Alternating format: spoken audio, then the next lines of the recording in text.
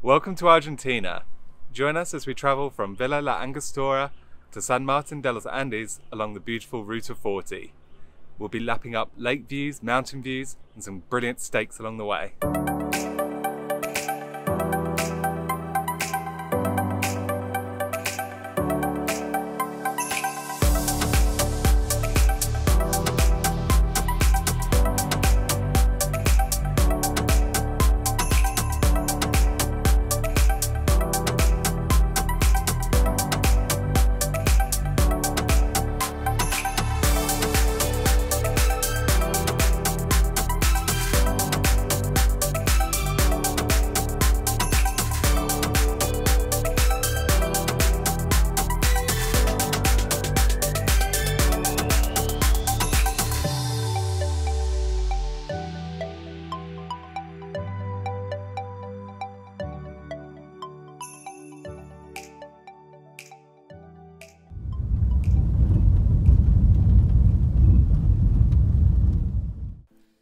During our time in Chile and Argentina, we chose to hire a car from EconoRent.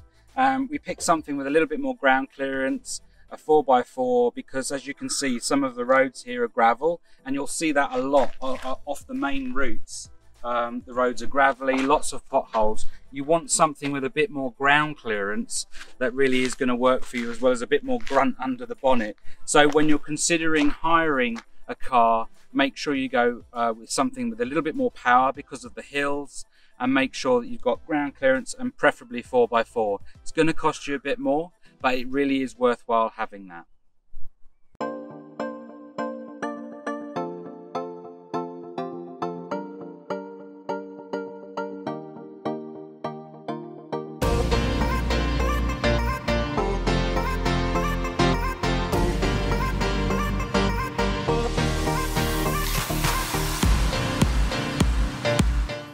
Angostura is your hub for bars, restaurants, supplies, souvenirs, and bike hire. It's a small town but really cute. The predominantly wooden buildings and pitched roofs give a hint that this place is a big ski resort in winter. Right in the middle of town is the bus station. You can catch buses easily to Bariloche, San Martin, or even across the border to Puerto Montt in Chile from here.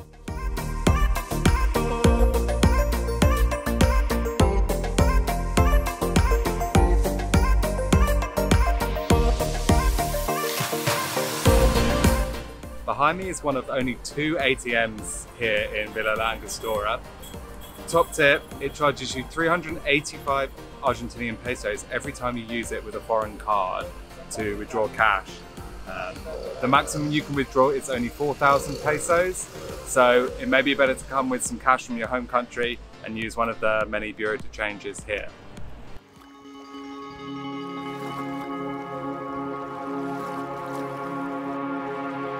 Down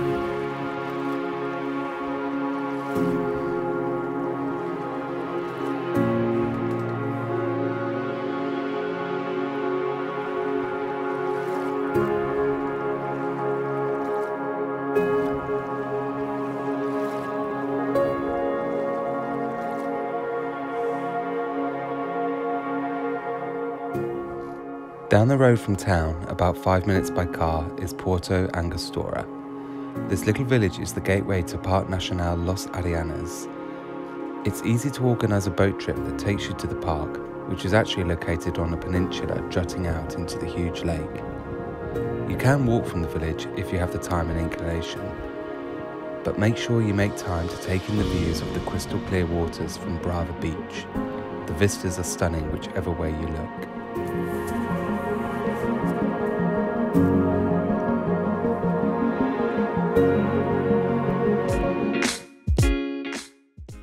If you're in the mood for lunch with a view, it doesn't get much better than the Mirador Social Club. Yes, it's a pain to get to, yes, they are only open for a few hours a day, and yes, you have to book, but the truly awe inspiring views are totally 100% worth it. We couldn't get enough.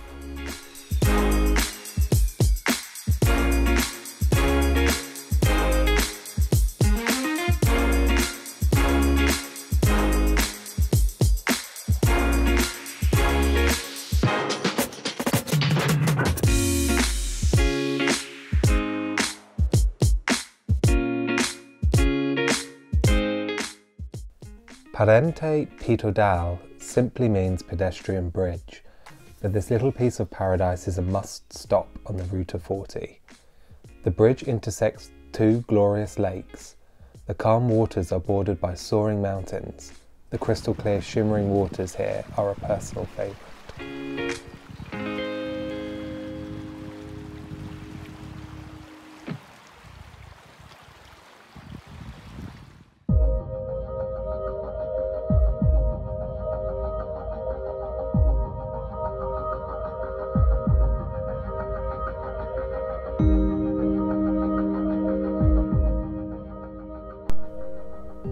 Steak for dinner, right? Of course, this is Argentina after all. Parrilla Chop Chop in Angostura is one of the best. Staff were great here and really passionate about their food. We strongly advise you to make room for provoleta. This traditional dish is simply melted cheese and bacon, but you can't imagine how good it was. After a few juicy chili prawns came the star of the show, cooked on a wood-fired grilled to perfection, the steak. So flavoursome, so tender. It doesn't get much better than this, people.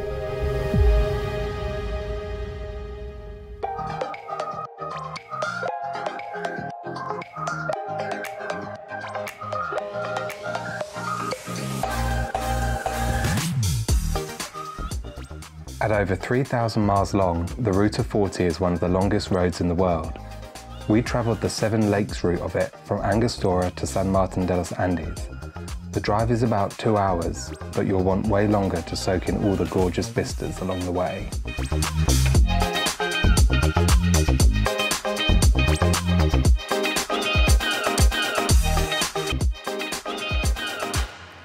As you can see behind me, it's pretty wet and cold here today.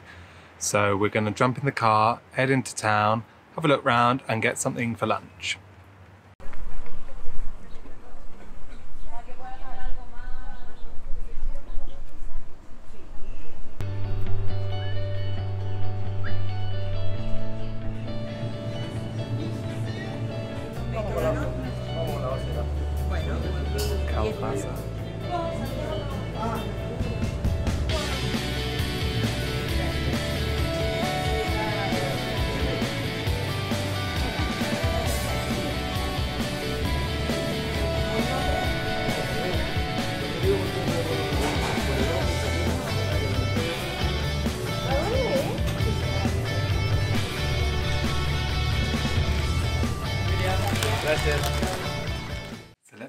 Empanadas we picked up. We went for two ham and cheese, one chicken and onion, and one spicy meat. We have no idea which one's which, so I'm just going to grab one and have a look at what's inside. They're nice and warm. I think that's the chicken and onion one. It's quite nicely filled, still quite flaky pastry. Let's give it a try. Looks like there's a bit of leek in there as well.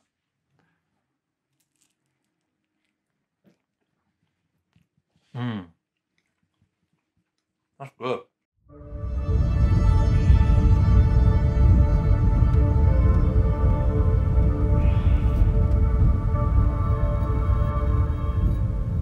With the weather improved, we headed out of town on the Ruta 48. The road heads towards and eventually crosses into neighbouring Chile. Passing through indigenous Mapuche land, you'll eventually come to Peninsula de Yuco. Here you'll find three different beaches, each with a different view of the surrounding lake. It was great to be right next to the water here, as a lot of the time the roads hug the mountains high above the lake. Come here and you'll love the scenic serenity.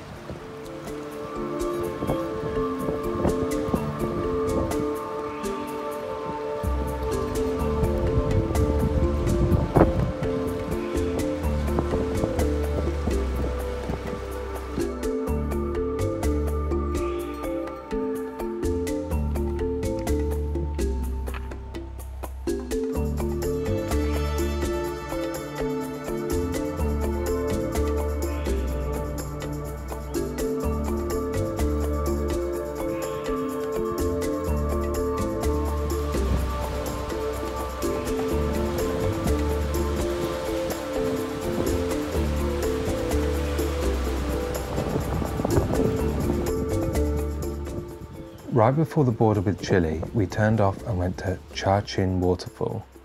We parked the car and took a 30 minute walk through the forest up to a viewing platform. Although you're quite far from the falls, you can still hear their thundering power. The gorgeous scenery makes the effort of the gravel road to get here well worth it.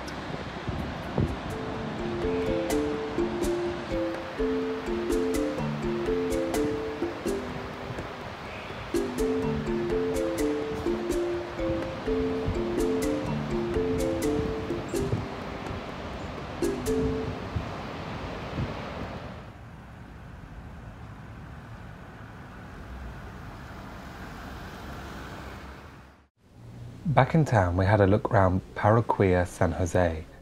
This little cute church is right in the middle of San Martin on the main road through town.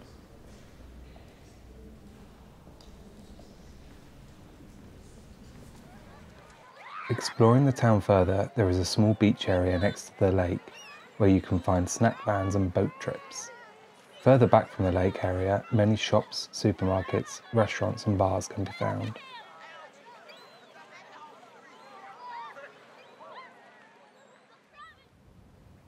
For our last evening, we booked a table at Domingo Restaurant. Run by a couple, this amazing restaurant is located in an old cottage and serves local ingredients and dishes that you won't find at any other restaurant in town. We arrived early, but this place does fill up, so you need to book. The menu is handwritten on a blackboard, but the chef made time to come and explain each dish and answer any questions we had. He recommended lamb's tongues in mushroom sauce, steak with mushrooms in a pesto sauce, and a chocolate brownie for dessert. Everything was beautifully presented and tasted wonderful.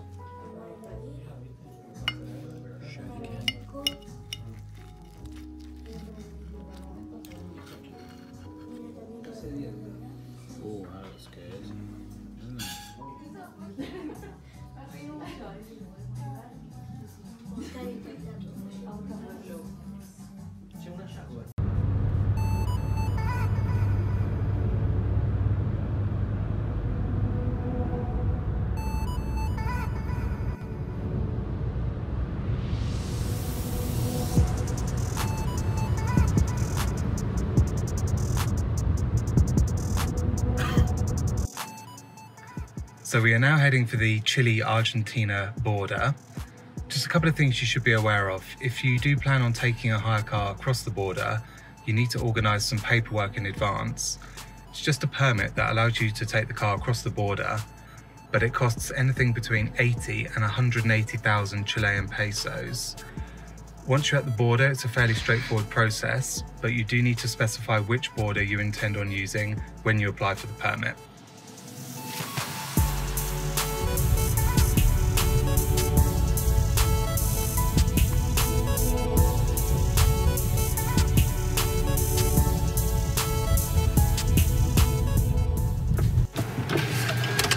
So this is our paperwork for the car and we've just been given a tag to take in.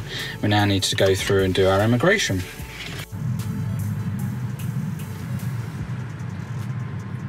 So this is no man's land in between Argentina and Chile. We're just coming up into the uh, Chilean border control now.